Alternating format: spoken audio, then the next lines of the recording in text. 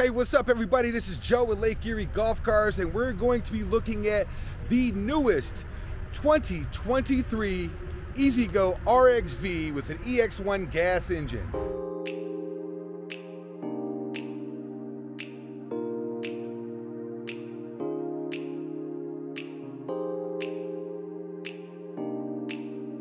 When you're looking at the RXV as a whole, you may not notice a lot of the differences off the start.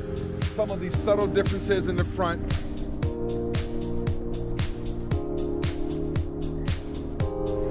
Another thing that's new on this model is the next gen gas and braking system.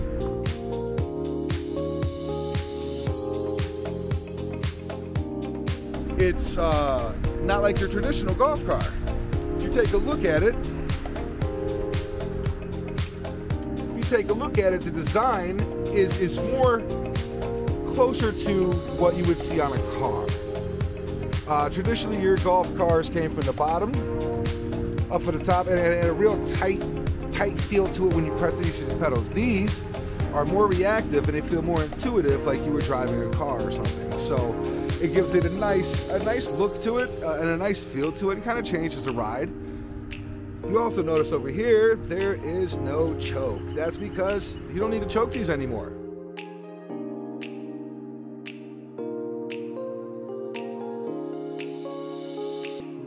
They've done a good job with these EX1 engines and how efficient they are. So when you're starting up, you're just gonna hit the gas once, twice, and gone. Simple as that. No more choking, no more pulling that, no more flooding it, no more guesswork. It's that easy. Mm-hmm. Gonna turn it on real fast. Look at the feet down here. Now it's more set up like a car and it's raised. Soft pedal action. You can probably tighten it up depending on, on what, what you want, but it's not the slam it down and you just like lock up your brakes and slide it anymore. It has more give to it, more play to it. And you're gonna notice on the startup that there's no choke, so it's not gonna have any reason to choke it.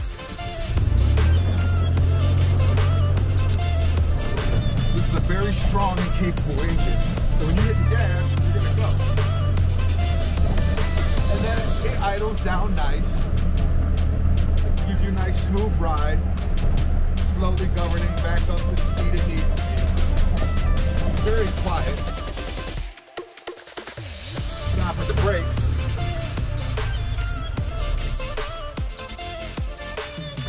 More of a pressurized feel to the brakes. You can still lock it up and get that stop if you need to. But when you're on the go, slowly applying to the brake, it's gonna help you out a lot. And once again, it's just a one push start, go.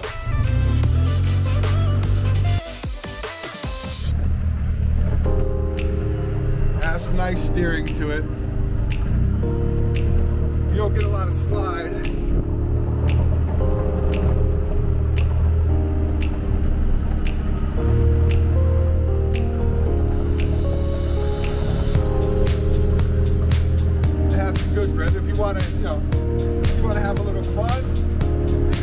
The brakes.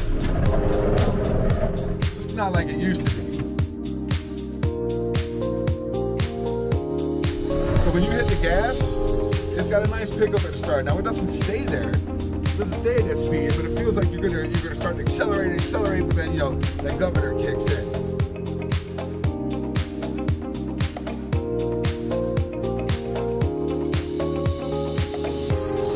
At the uh, the console and how they have it designed, they know everybody has a cell phone, so they've now given you know a, an extra space here for storage for your cell phone. It has this nice lip that's going to prevent stuff from sliding out as you're hitting these bumps. And if you see, you know, see my finger, you know, there's a good lip down there that's going to prevent uh, even the biggest bumps. Now, for some of you more adventurous drivers that don't look where you're going, maybe it'll pop out. But the reality is, this is this is a very good idea for them to have to embrace technology and to just add it into making uh, uh, making life a little bit easier on you. Um, now, let's say you wanted to have something where you can see it. They also have this ledge here that you can put some sort of a tablet or cell phone into as well, in case you're looking at something, watching something, or whatever the case may be.